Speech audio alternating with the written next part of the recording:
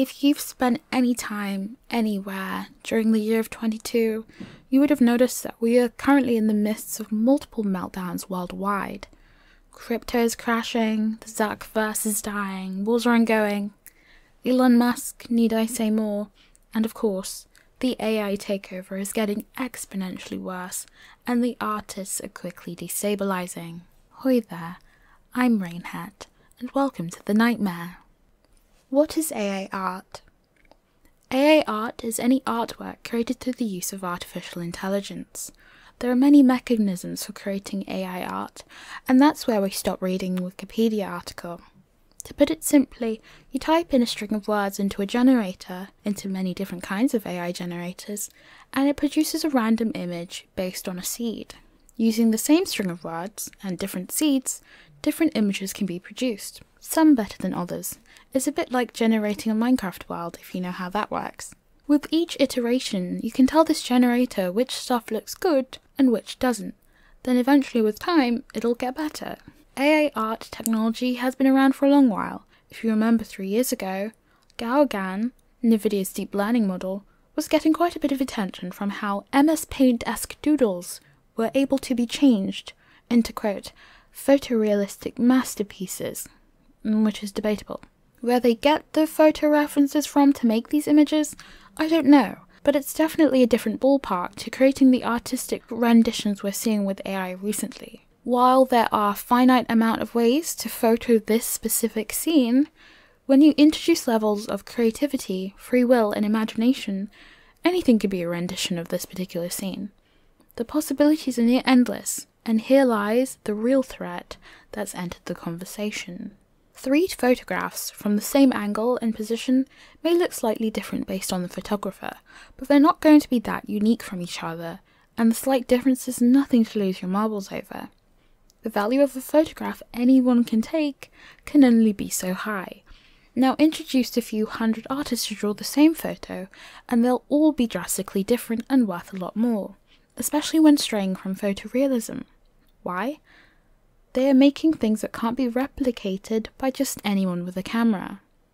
Styles that show the scene in ways never seen before, they are unique and an alternative way to appreciate and experience the beauty of what something may look like beyond your basic human, open your eyes and look around experience. It's something anyone can do, but it's not something anyone can do well.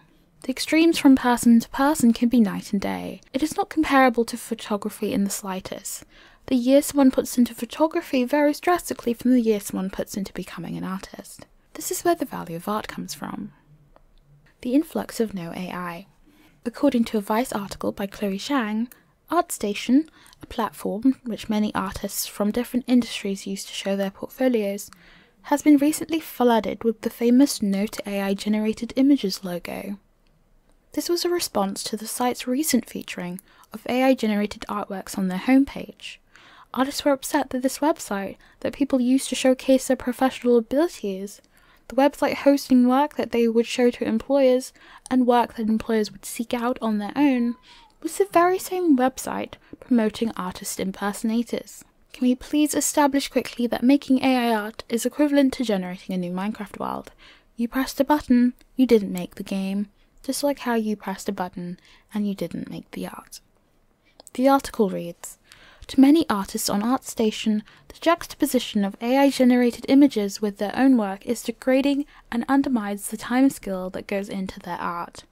AI driven image generation tools have been heavily criticized by artists because they are trained on human made art scraped from the web, and then effectively remixed or even closely copied without attribution. ArtStation's response was frankly along the lines of we will not stop or restrict the uploading of AI generated art, but here's a little sticker you can put on your page that says don't put my work into AI mining data. How useful. We'll come back to ArtStation's proposed solution in a little while, but let's address the elephant in the room. The reality we have to face of it never going away. This is our new life now, and tomorrow it'll be different than it was today. As they say, the cat's out the bag, the baby's out the basketball, tubes out the toothpaste, it's not going back in. There's no undoing to be done.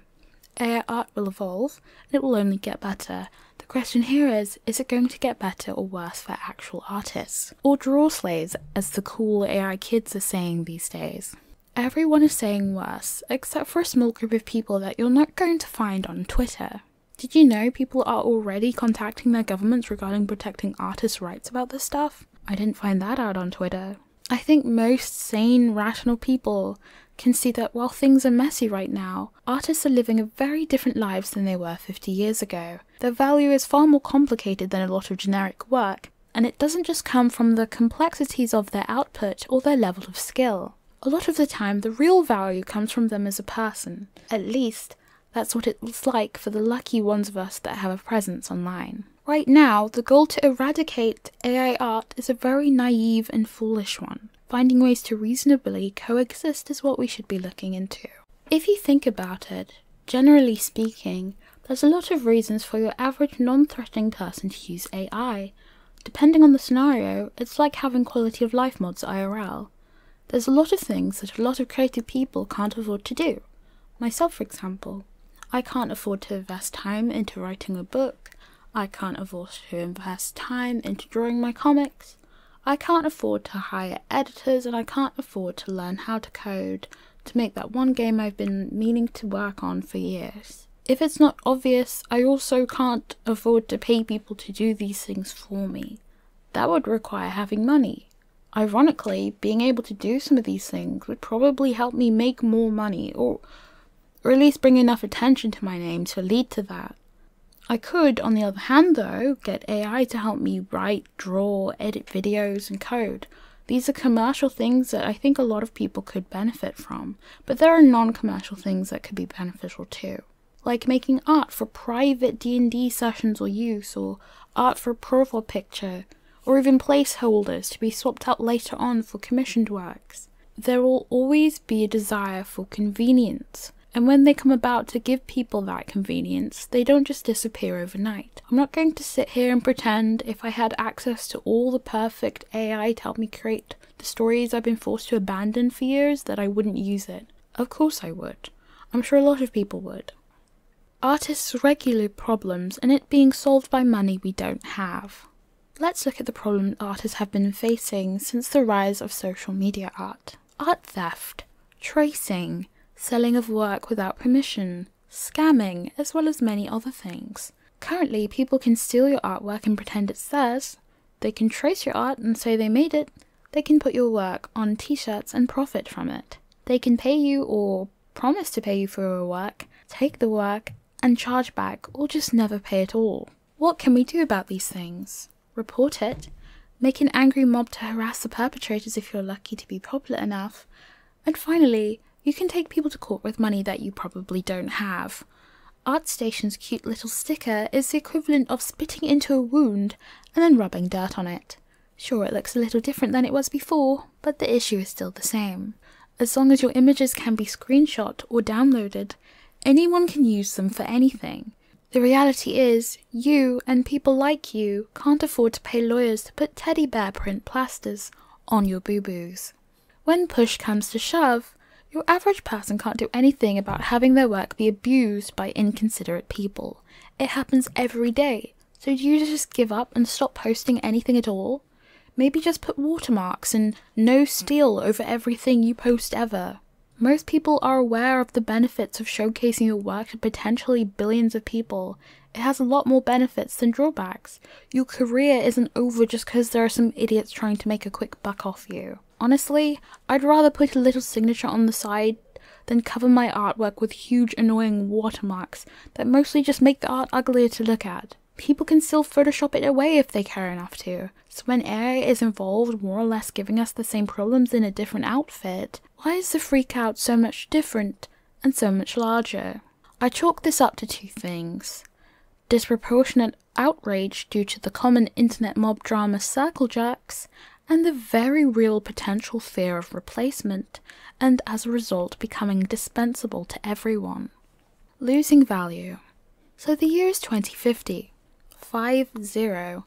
And you need money. A job seems like a reasonable thing to use to obtain said money, and you happen to be especially skilled, so you go to an interview, as you do. Someone sits in front of you and asks you for your full name and date of birth. They type it into the system, and congratulations! They were able to recognize your high skill and match your data to the requirement list for the very job you're applying for. Except the year is 2050, and this company has paid a little extra for the ability to copy your being in data form to sell you and replicate you to exercise these very skills you spent your life developing. The deal is you, the original copy, is no longer needed. You are no longer a person, but a product that somebody else is selling. Everything you've learned and experienced to that point to be who you are today is now someone else's to use and profit from. You didn't upload your existence to the database. Someone else collected tabs on you and put it there. So I won't sit here and validate this fear of losing value as a person. This is the fear that many artists are facing right now. This is a fear that all of us would potentially have to face in the future, as you commonly hear people say, we will all be replaced by technology one day. I'll do my best to present you with an alternative to that reality. If you don't get paid, how do you pay for the services that people are providing to you? If no one has jobs, how do people make money? There are benefits to keeping the circle of consumerism alive, and this is for every job. The rich afford to make products, people make the products for the rich and then get paid for making the products. People spend the money they make on products, which makes the people rich. We kind of need each other. If the little guy doesn't have money, the slightly larger guy has to, and so on and so forth. If you let the little guys die out, then you'll have the if everyone's rich, no one is scenario. Where we end up from here is not going to be a reality, where human life is one to one replicated by man made instruments. Because then human life would be pointless, and humans don't like being pointless, so we'll probably figure something out. The unfortunate current state of AI art is artist names are being used in generations to replicate their style, and some AI art generators are made purely with one artist in mind, like what happened with Sam Does Art. It's pretty much the replacement example. People are saying he's famous, he'll be fine, but that's like crashing someone's car and saying, you bought one, you can buy another one. The morals are all wrong. Profiting off someone's own name and likeness has been a thing in lawsuit cases that is frowned upon.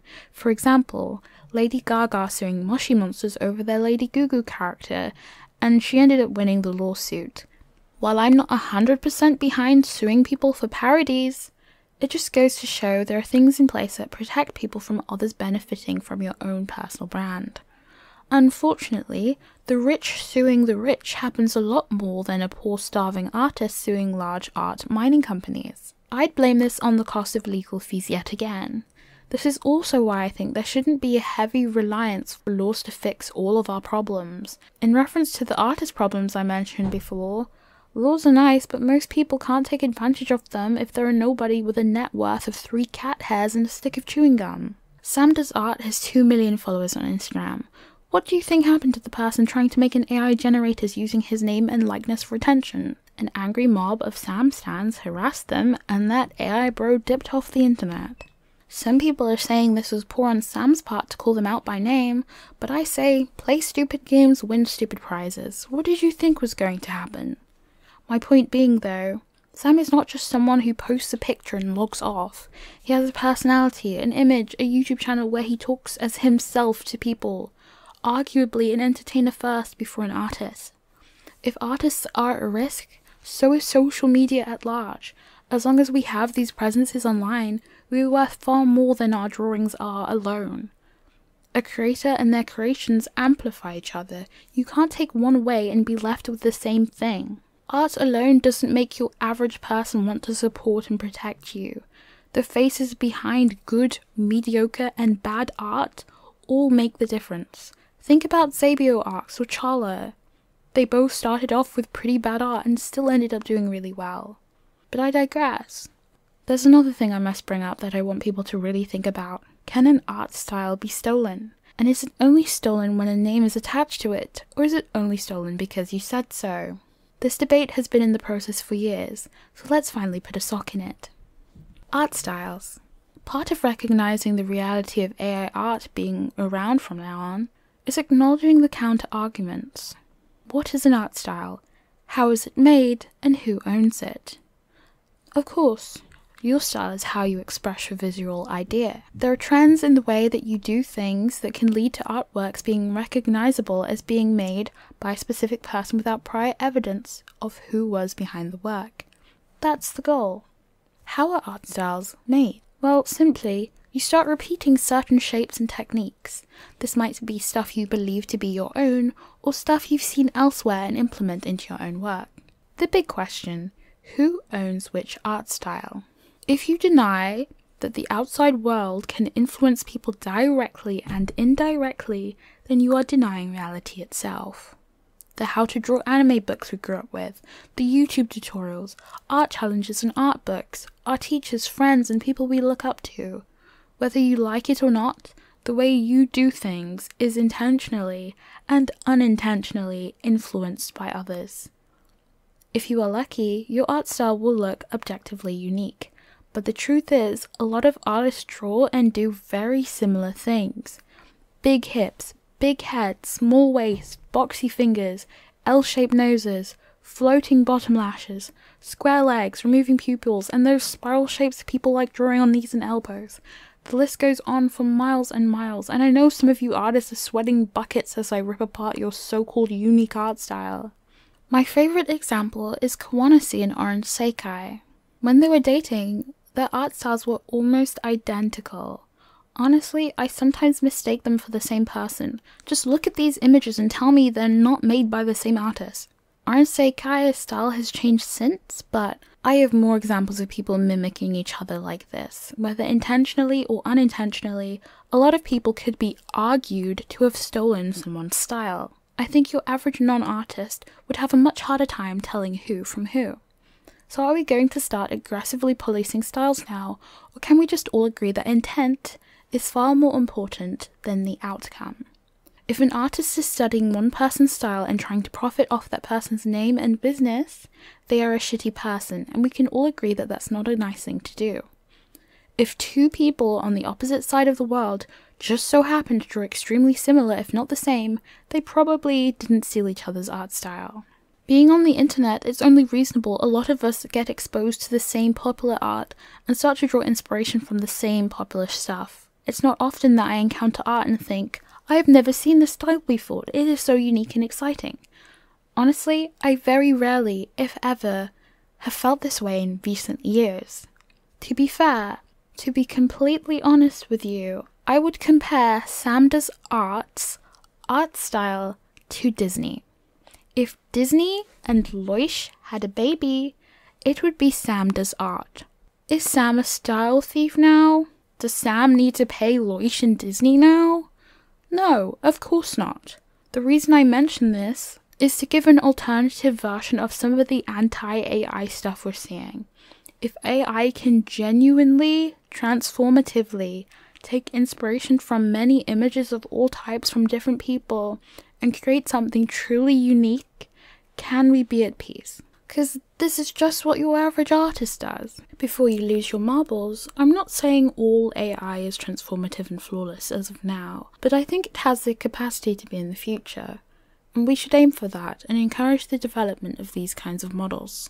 We all take part in many different ways of expression through art, and while it's not comparable to a computer in the slightest, we definitely do not pay every single person that's inspired us. If we can be truly transformative with our works, and AI can too, wouldn't putting restrictions on that potentially restrict us as artists further than we already are? On top of that, people's art styles change all the time. Do they own every single style they've ever had? And does the most popular artist own it now? Or is it the one who did it first? If someone is known for drawing square ears, can no one else do that? Can you not see how silly this is getting after a while? No one should be able to sell your ability except for yourself. But if it does happen, and it may, appreciate the many voices you have behind you supporting you in your achievements. Honestly, I think it's going to be better than getting laws that most of us can't afford to enforce. If little Charlie wants to make a Genshin Impact style OC and has and not get sued into oblivion, there's some reasonable ground to allow AI to be able to do that too. And what's it really worth at the end of the day? AI art is going to get cheaper and cheaper, so honestly, I advise you to never ever pay for that stuff. The art miners didn't pay for the art, so why should you? The original has always been worth more in every scenario till now, right? I doubt AI is going to completely flip that on its head. If a computer made an image, there's an argument that the computer can't own the copyright to it. So the chances are people won't be able to claim copyright ownership of AI made images either. If that's the case, it would also be highly unlikely for big companies to be able to claim copyright over AI art or characters. Companies tend to like owning stuff that they make so they can stop other people from using it in ways that they don't want or agree with. But you will only see how that turns out though. I honestly think the internet has the ability to grasp that someone might be doing something morally wrong and be against it for that alone. If you have a community behind you, AI art will not suddenly make that community disappear. As long as you have your worth behind your production, your community and the art community as a whole will work together to combat people being taken advantage of. The internet's virgin, protest and outrage, and my Chad not worrying about things I can't control. To put it simply, those of you crying about the current state of events need a slap on the wrist. Your virgin tears are nothing against my Chad sleep it off and move on persona. Do like the monks and don't worry about things you can't control. Focus your attention on what you can do and be the change you want to see. Know a penny's worth, a brick in a building, a card in a card tower. They are small on their own, but without them, the bigger picture would be a different one. Support artists, to put it simply. If someone has 1 million followers and half of those people give the artist 20p a year, that's an easy 100k a year for that person if someone has 1,000 followers and every one of those followers gives the artist £4 a month, that's an easy 50k a year. You don't need to be rich to support people, but helping this person grow in any way through money, comments, shares, likes, etc., it makes all the difference, as small as you may seem in the bigger picture. That's what you should pay attention to if you can't do anything else. The telling murderers not to murder scenario. Some people's solutions is telling people not to use AI art. These are the same people who think saying no to racism would make them a hero. Words don't change people, people change people, and adults don't get influenced as easy as the youngins or the elder population. So sometimes the only person that can change is the person themselves. I think there are benefits to AI images that are just being ignored. Clients can approach artists with AI designs to aid commissions. Artists can use AI as an underpainting or for color palette or visual inspirations. Some artists aren't designers, so AI can help them design things that they can reference from. Artists love photo bashing and collaging and drawing over stuff that they don't own. AI can just be another tool instead of a threat to everything. The response. It comes down to this. People like AI because it's cheap, but it can be free if you have functional brain cells. It's extremely accessible. Some people don't care about artists, but honestly, screw them. They were the same before AI, they'll be the same during and after. People can see benefits to working with AI art as a tool, and those who make art themselves are fully aware of this, and even so, can still enjoy making art from scratch with or without the presence of these AI generators. Some people think the AI stealing art styles argument is dumb, and I think the intent matters, but I totally understand that it's dumb rebuttal. Determining what is transformative has always been an issue when it comes to rights and copyright laws. We definitely don't need to make it more difficult for artists to have creative freedom when fighting against the machine. And a lot of people see a future in AI art, and honestly, I do too. As long as it's done right and we support the right people, it'll be just fine. After all, if AI learning becomes less like copying, we'll be on a better track, won't we? On the other hand, people are passionately against AI art for using years of people's hard work without compensation. They think it'll take away the future need for real artists. I don't think most artists compensate people for everything they've ever been influenced by, so I don't know what to tell you. There's obviously a right and wrong way to go about this, but if AI is producing art influenced by enough sources that one person can't be attributed to the output, then I don't see a problem with it. People don't want others claiming AI work as their own, and if they do, they are liars and thieves. I don't think it's fair to claim something 100% as yours that isn't, and that's that. There's no need for the extra drama though. People think AI has no place on portfolio websites and professional settings. I agree. I also wouldn't want inauthentic content muddying the waters of professional websites. People feel so strongly about this, they will gladly send death threats to anyone using AI in a successful, profitable way, which is a shitty thing to do. The reality is, this is not a black and white situation, and not all AI art is made the same. Like I said before, intent matters. If the AI is truly, truly transformative, let them have it. Stuff is constantly changing, so others can have more opportunities in the future. Change would happen with or without AI. Finding work is harder for human translators, finding work is harder for web designers and studios, but people are still out here hiring them, even though it's been made easier for us noobs to make things ourselves. VRoid didn't eradicate the need for individual 3D modelers, it just gave the people who were never going to pay thousands for a 3D model a cheaper alternative. And guess what? As popular as it is, some people would rather have nothing than a VRoid model, since it's just not what they're looking for. I honestly think the people who have been spending money on artists for commissions are not going to stop because a shittier, freer version is available. The people who turn to that were never going to give money to artists in the first place. They aren't your problem. No amount of tantrums, death threats, or crying will make bad people cease to exist. And as long as the internet exists in the same community driven format, your worth has not dropped with the new introduction of AI art, because you are worth far more than your talents alone, and there's a much bigger picture that people will always fight for. The future good, bad, and the ugly. Here we all stand and look towards an uncertain future. I genuinely believe it won't be nearly as bleak as everyone seems to think. What's popular now may not be popular five years from now. The AI art that's being created now might not be the kind of stuff people want in the future. Artists will always be needed to fuel AI generating. If the creations have to stay relevant, an artist will always make new things first before the AI can use it to train with and produce with it. It's like we constantly have the cheat codes for being ahead. I think the training of new AI generators will become simpler and easier and will one day be able to make our own using our own art and creating things that we can claim to be ours. Things that can speed up our workflow, things that other generators can't produce without our dataset. The best thing we as artists can get out of this are tools to make our jobs cheaper and easier. Most of us are already taking advantage of AI in our work. For example, being able to color in your line work with the click of a button instead of having to lasso and scribble everything in bit by bit. I love Krita's colorized mask. It's insanely overpowered. And just as a comment on AI as a whole, us all being able to do things we wouldn't be able to afford to do due to financial or time constraints sounds like a great thing to me. Convenience can be a huge game changer for a lot of people. Finally, we have to give our condolences to the people we lost along the way. Some people took one look at this situation and thought, Wow, I guess there's no point being an artist anymore.